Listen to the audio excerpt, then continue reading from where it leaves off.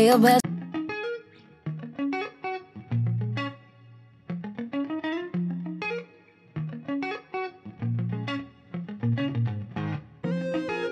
Hi everyone! Welcome back to my YouTube channel and today's vlog content, uh, ito summarize ko ang lahat ng mga napuntahan naming different places here in Sydney, Australia.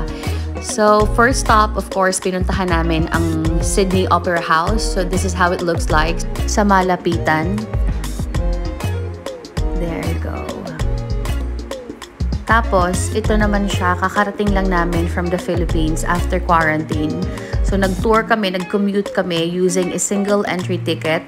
So, it's $4.50. Mahal talaga siya dahil hindi pa kami gumamit no ng card or opal. So, thanks Benitez family.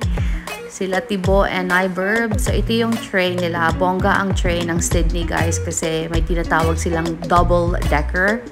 So, malalaki talaga yung railway nila dito. And yes, malinis din yung tray nila. Ano, sanitized lagi. Medyo wala masyadong tao that time. So, ito yung Sydney Harbor. Papunta siya sa Opera House. And this is Rashe's naman restaurant. So, dinala kami ng pinsan ko dito, si Kuya Hens and Ate Tin. So, sikat siya na restaurant here in Sydney. And of course, ang mga ultimate steak nila. Ito, ito talaga kinakain ng mga Aussie-Aussie dito. chips. So, ang fries guys, tawag nila dito is chips. And also, uso yung mga steak. And coffee, of course. This was for $4, I think. And of course, hi Tibo. This is my husband's barkada, childhood friend siya talaga yung ultimate tour guide namin dito. At ito yung pinakasikat nila na bakery here in Sydney, Australia. Alam to ng mga Filipino dito. Dinadayo talaga siya ng mga Pinoy kasi iba-ibang klaseng Filipino bread. So, may ubi cheesecake, iba-iba. Ayan yung ano nyo. May Spanish bread, ensaymada, lahat pandesal. So, this is located in Doonside, Blacktown. So, maraming Pinoy. And ito yung mga houses here in Sydney. So, iba-iba. So, guys, mako-compare ko siya. When it comes to property, mahal talaga ang property or houses dito sa Sydney. But when it comes to cost of living as a whole, masasabi kong mas mura ang Sydney kesa sa Perth. Kasi, sa, sa, sa own experience ko lang siya. And ito yung mga houses dito kadalasan. Depende sa suburb din kasi mag, may ibang suburb na bago, may iba medyo luma-luma na. So, malilinis talaga guys. Presko yung hangin dito. There you go. Masarap din talaga maglakad-lakad dito. Parang nasa probinsya ka. And ang weather ngayon is medyo maulan-ulan na maaraw kasi autumn season na dito sa Australia guys malapit na mag-winter so mag-expect tayo na palamig na talaga siya ng palamig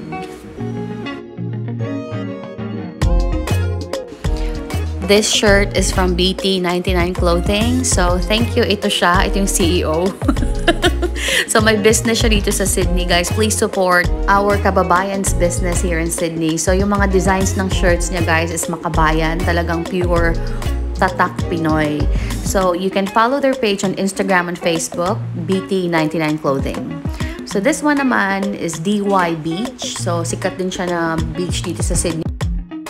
Maulan lang talaga siya nung pinuntahan namin to. This was second week of February. Kakarating lang din namin.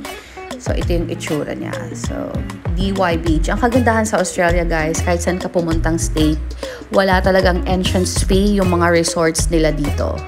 Hindi rin naman uso yung cottages and meron pa silang free barbecue grilling station kung saan pwede ka dun mag-ihaw-ihaw.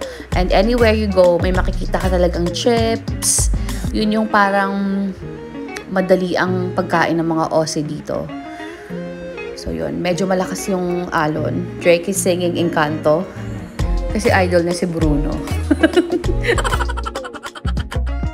so papunta kami dito sa Blue Mountains. Sikat siya here in Sydney, New South Wales. umuulan lang talaga nang pumunta din kami nung time na yon So, zero visibility in a bit. So, wala kaming naabutan doon na any tourist spots except doon sa falls. So, yun. Maganda yung lugar na to, guys. Very relaxing. Paakyat na to sa bundok. Kasi nga, di ba, Blue Mountains. Hindi namin alam kung bakit blue. Kasi puro green ang nakikita namin. Char.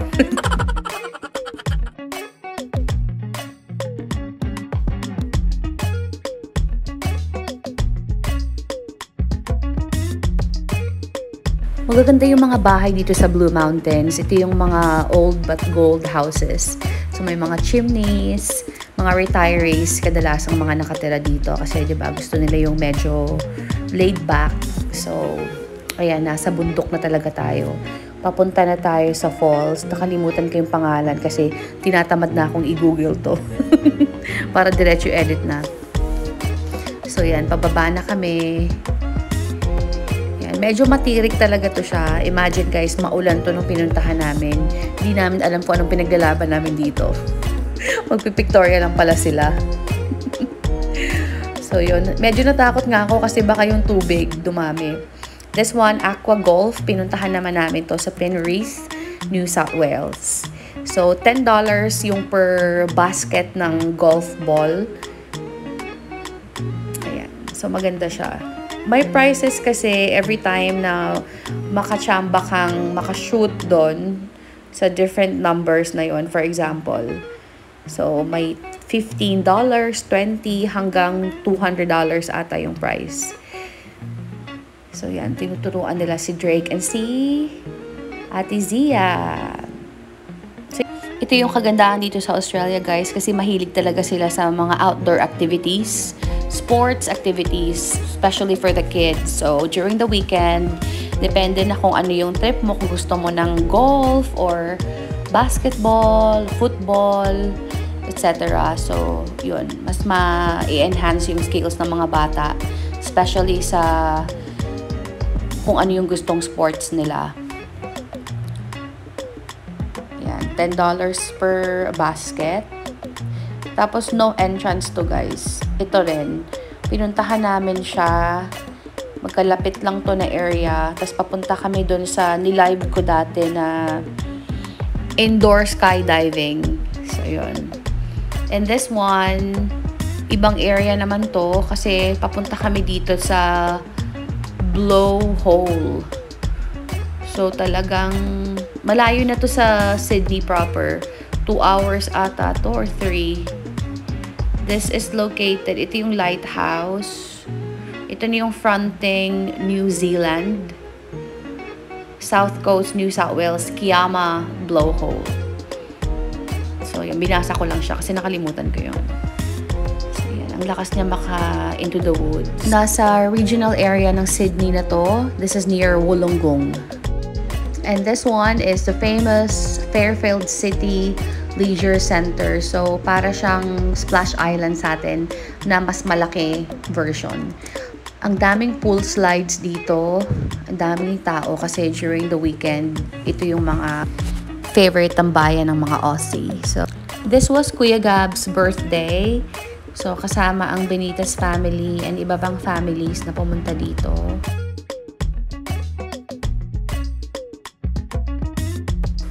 Inakyat namin yan guys. Grabe, nakakalula yung pool slides nila. Sobrang taas kasi niyan. I think ito yata yung pinakamalaki dito sa Sydney, if I'm not mistaken. So, yung magandahan nila kasi meron mga lifeguards na nakabantay.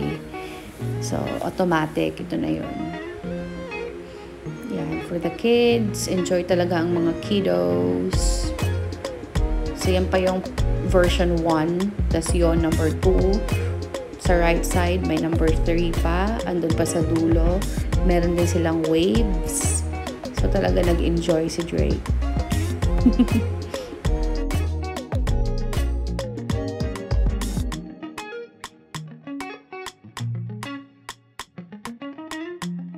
ng birthday celebrant.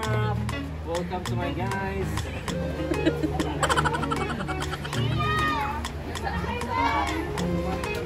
lumpia. Siyempre, hindi talaga walang lumpia. Okay, here's the fried chicken, guys. Chicken, okay, chicken. chicken.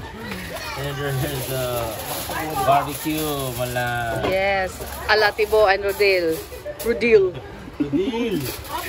And the liempo. Oh. And uh, this? Fried chicken again. Siyempre, Jollibee. Charot. Jollibee Chicken Joy. Palabok. This one the uh, Shrimp. Buttered shrimp.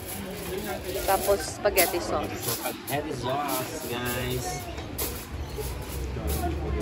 Ayun, ang sasarap ng mga pagkain. And ito yung barbecue grilling station nila kung saan pwede kang mag-ihaw-ihaw. So, Clay Go, clean as you go. So, ito si Rodel, papunta na yata siya sa pool slides. Kalimutan ko na kasi nag-voice over lang ako.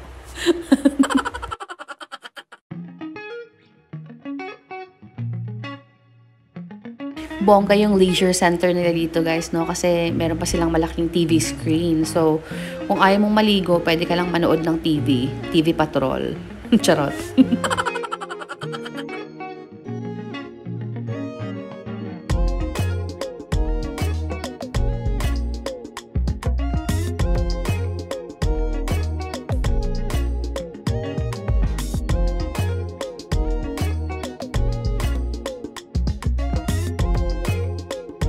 ito na yung wave pool nila kung saan talagang nag-enjoy ang mga kids kasi parang totoong nasa dagat ka.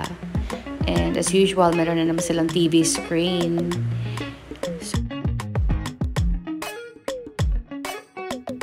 May surfing din sila dito. So parang talagang totoong nasa dagat ka. So nag-enjoy yung mga kids.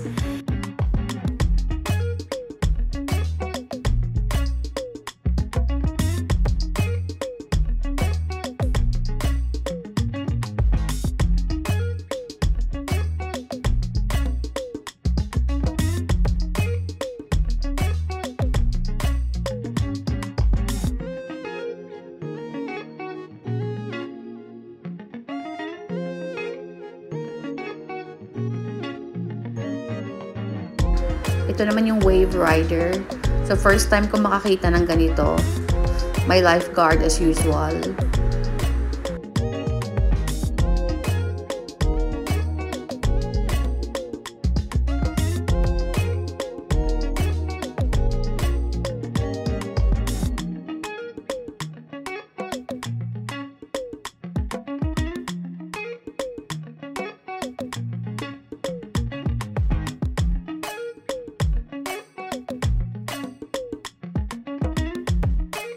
Ito na yung inakyat namin na sobrang nakakahilo kasi ang taas niya.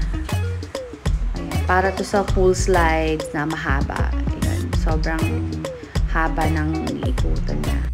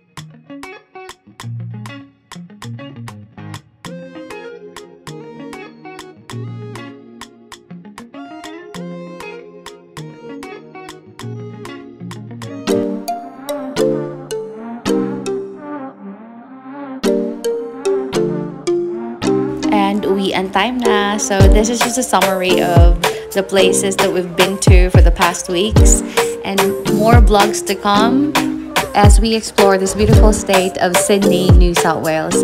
Thanks for watching guys. Till my next vlog. God bless you all. Bye.